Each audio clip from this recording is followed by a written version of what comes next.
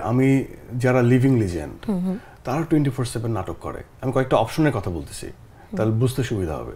যারা living legend তারা twenty four seven নাটকই করছেন।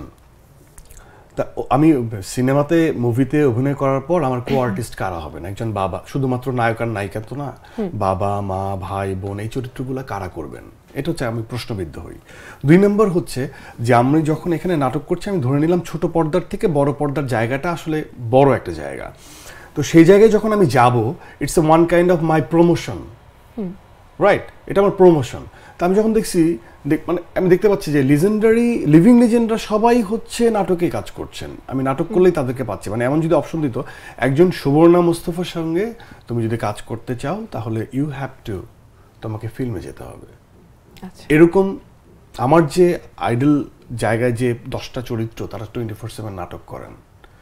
যাদের মাধ্যমে আমি ইন্সপায়ার হই অভিনয়ের জায়গাটা খুব। তাহলে কি মানে ফিল্মে যাওয়া না আমি বলছি অপশন আচ্ছা, যেটা হচ্ছে যে যাতে করে এই বাচ্চাটা আসলে কনফিউজ হচ্ছে যে আমি আসলে কোথায় যাব।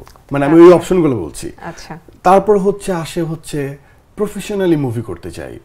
শিল্পের জায়গা থেকে না। মানে শিল্পের শিল্প তো থাকবেই কিন্তু এটার সাথে অর্থের একটা লেনদেন আছে।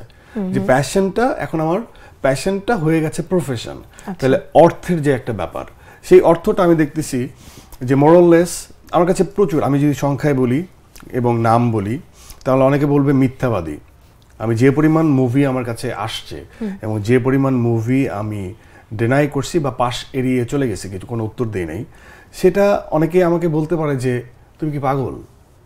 মানে আর ইউ ম্যাড সমস্যা কি তোমার? এগুলোই বলবে। কিন্তু আমি যেটা আমি যেটা এখন সেট করছি সেটা হচ্ছে ফিল্মের নামে আমি চ্যারিটি করতে চাই না। You have to pay you have to কারণ আমি এটা প্রফেশনালি করতে চাই। এরপরেও যদি আমার দ্বারা কোনো ফিল্ম না হয় তাহলে আমার কোনো রিগ্রেট নাই আমার কোনো কষ্ট নাই। বুড়া বয়সে একটা ফিল্ম করব বাপের চরিত্র কোনো সমস্যা নাই। মানে আমি মানে ব্যাটে বলে মিলছে না আমি এটা বলছি না যে আমি লোমের শিরায় শিরায় আমি অভিনয় ফিল করি তা না। ইটস এ রং থিং হবে মিথ্যা বলা হবে। হ্যাঁ আমি যখন পারফর্ম করি তখন আমি ফিল করার চেষ্টা করি যে আমার যেন গুজবাম হয়। যখন আমি পারফর্ম করি। কিন্তু আমি সবসময় ছোটবেলা থেকে এই স্বপ্ন দেখি না এরকম না। তো আমি হচ্ছে এই কিছু কিছু বিষয়। আরেকটা হচ্ছে যে স্টোরি বোর্ড আমার চোখের সামনে থাকে, সেখানে আমি দেখি যে অন্যান্য কান্ট্রির বা গল্পের প্রবণতা বা প্রভাব অনেক বেশি। আমাদের এখানে এত এত writer crore crore writer lakh lakh writer বা হাজার হাজার রাইটার তাদের কোটি কোটি গল্প।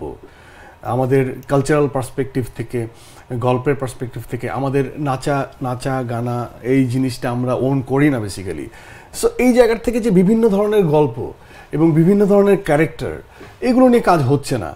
আরেকটা জিনিস হচ্ছে যে যে প্রফেশনাল জায়গা থেকে বলব আমি যে বছরে কয়টা হিট মুভি আসতেছে? বা কয়টা বলব যে যে মুভিগুলো মানুষ দেখছে?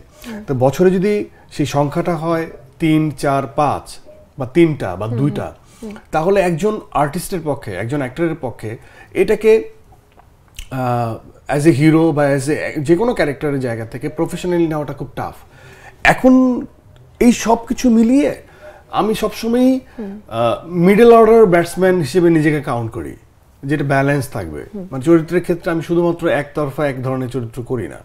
আমি নিজেকে অনেকে বলে যে ক্যারেক্টার চরিত্র মানে ক্যারেক্টার পোর্ট্রেট করে। তো সেই জায়গার থেকে অনেকে এই- ধরনের প্রশ্ন আসতে পারে যে তো তুমি কেন শুরু করছ না? মানে ভয়টা কিসের? শুরু করো দেখো।